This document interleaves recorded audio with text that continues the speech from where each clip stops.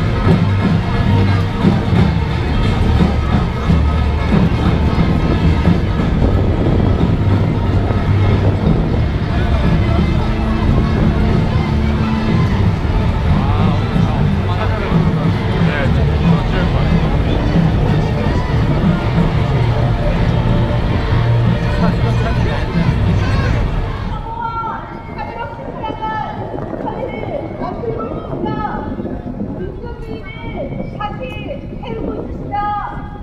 집권자를 이긴 권력은 없습니다. 싸움은 반드시 이길 것입니다. 잠시 후 저녁 8시에는 광장과 이 어디는 박근혜 뛰어든 마음으로 1분 동안 길을 꺼주십시오. 한국 시간 저녁 8시 주민 포기도 함께 해 주십시오.